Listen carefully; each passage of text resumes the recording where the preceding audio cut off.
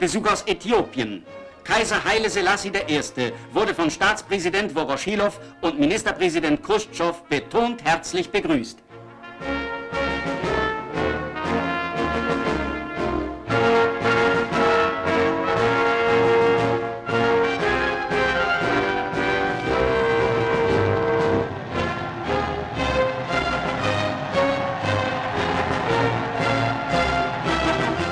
Rund 4000 Kilometer Ost